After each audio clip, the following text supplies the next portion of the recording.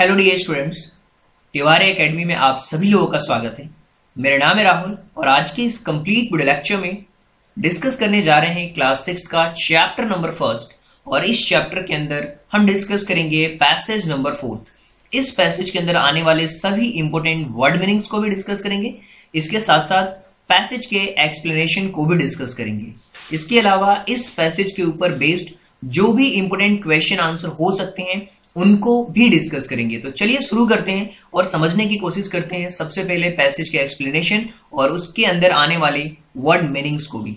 यहाँ पे सबसे फ़र्स्ट लाइन में अगर आप देख पा रहे हैं तो यहाँ पे लिखा हुआ है the little man face wrinkled like a dishcloth thrown in the hamper the little man face wrinkled उस छोटे से आदमी के चेहरे पर wrinkled like a dishcloth thrown wrinkled उसके चेहरे पे सिलवटे पड़ गई हूँ। लाइक अ डिस्क्लो थ्रोन जैसे कि जो पोछे के कपड़े होते हैं, जैसे पोछे के कपड़े को आपने देखा होगा जैसे उस पर सिलवटे पड़ गई, पड़ जाती है ना, वैसे ही उसके चेहरे पे सिलवटे पड़ गई थी, जैसे कि dishcloth thrown in the hamper जैसे कि पोछे के कपड़े को हम टोकरी में फेंक देते हैं राइट अब इसकी नेक्स्ट लाइन में जाने से पहले यहाँ पे दो आपको वर्ड मीनिंग्स दिख रही होंगी रिंकल और हैम्पर इसका मतलब आपको समझना होगा।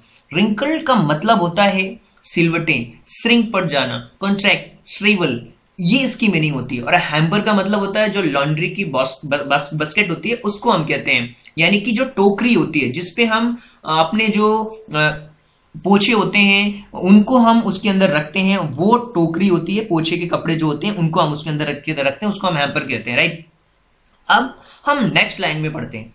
He kicked his leg and doubled his fist and grimaced and scolded and pursed his lips. Oh, am I crushed? But I will do it. He kicked his leg. अब उसने किया क्या उसने अपने ही पैरों को लात मारी एंड डबल्ड हिज फिस्ट अपने जो हथेलियाँ थी उनको फिस्ट किया मुट्ठियों को बांधा ज़ोर से राइट अपने पैरों को लात मारी मुट्ठियों को भीज कर एंड ग्रिम्स्ड जैसे कि मुँह बना लेना एकदम उसको हम कहते हैं grimaced right grimaced, right? And scold and pursed. Scolded and pursed his lip.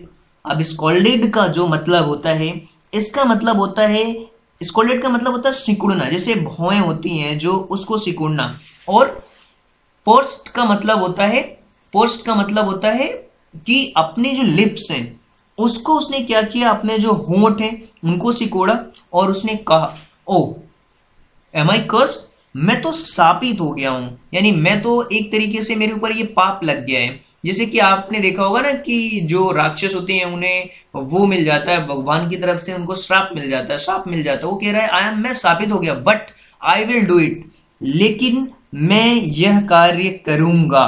Right तो अब यहाँ पे जो मीनिंग्स हैं, उनको हम कवर करने की कोशिश करते हैं और इसकी कंप्लीट में एक बार एक्सप्लेनेशन को भी फिर से रिपीट कर देता हूँ। ताकि आपको कोई डाउट न रहे राइट इनके मीनिंग्स को सबसे पहले हम कवर करते हैं।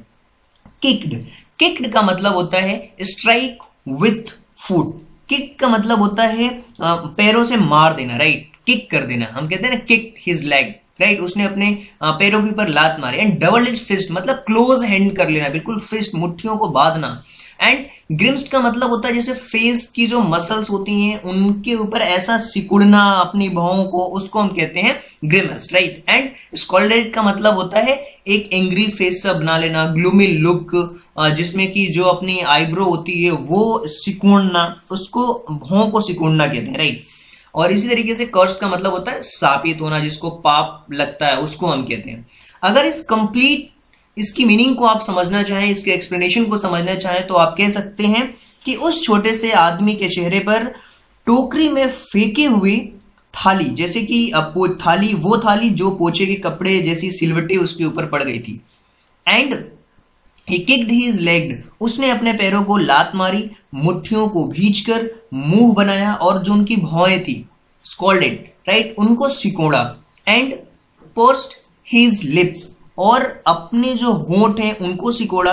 और उसने कहा, ओह, मैं तो साबित हो गया, लेकिन मैं ये कार्य अवश्य करूँगा but I will do it इसकी एक्सप्लेनेशन को तो आपने कंप्लीटली समझ लिया है, इसकी मीनिंग को भी समझ लिया है। चलिए इस पैसेज के ऊपर बेस्ड कुछ इंपॉर्टेंट क्वेश्चन आंसर को भी हम देखते हैं कि किस तरीके से क्वेश्चंस पूछे जा सकते हैं। ये पैसेज है और इस पैसेज के ऊपर जो इंपॉर्टेंट क्वेश्चन इस पैराग्राफ के ऊपर जो बेस्ड है, उनको हम देखते हैं। यहाँ लिखा हुआ है a little man face wrinkle like dishcloth so his emotion is उसके इमोशन को ये किस तरीके से शो कर रहा है? तो आप कह सकते हो कि ऑफ़ एंगर होगा। ये गुस्से वाला इमोशन उसके चेहरे पे वो दिख रहा है, उस छोटे से आदमी के ऊपर राइट अब हम आते हैं, एक क्वेश्चन बहुत सिंपल है जो मैं आपसे पूछूँगा।